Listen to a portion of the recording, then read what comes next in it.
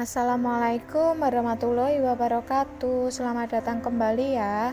Nah pada video kali ini kita akan membahas tentang konsi atau suplemen makanan dengan vitamin C berdosis 500 mg dengan bentuk yaitu tablet hisap.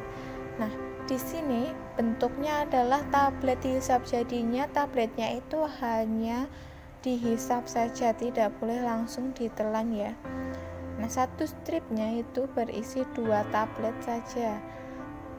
Vitamin C ini dosisnya sudah 500 mg akan tetapi nanti kita akan lihat ya komposisinya apakah beneran vitamin C 100% itu 500 mg nah konsi tablet bisa mengandung 500 mg vitamin C yaitu untuk membantu memenuhi kebutuhan vitamin C harian.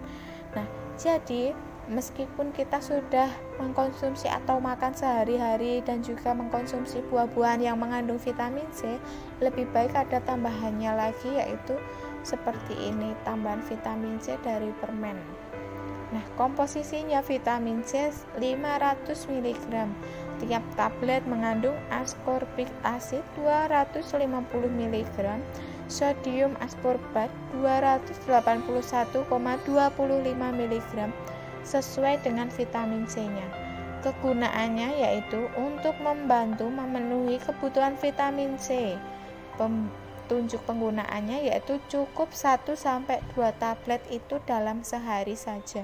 Jadi tidak boleh apabila karena terlalu suka nih dengan konsi ini karena tentunya ya rasanya enak. Nah konsumsinya itu sehari bisa mencapai 5 tablet ataupun sampai eh, uh, 10 tablet. Tidak boleh ya seperti itu. Karena apa? Karena akan bisa mempengaruhi dari dosis yang masuk ke dalam tubuh kita.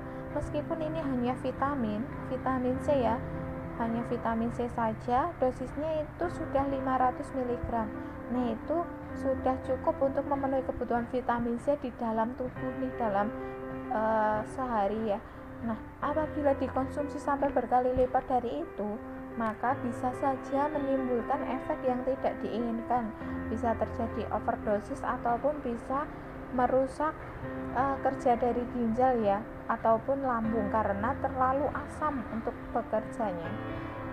Nah, ini konsumsinya jadinya cukup 1 sampai 2 tablet dalam sehari saja.